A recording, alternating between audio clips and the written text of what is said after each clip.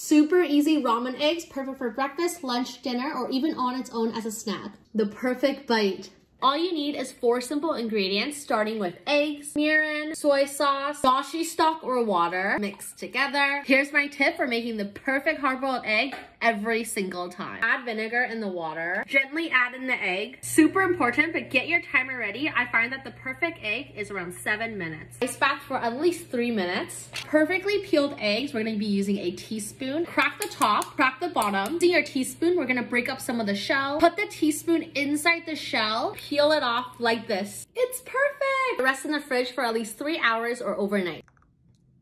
Look at that.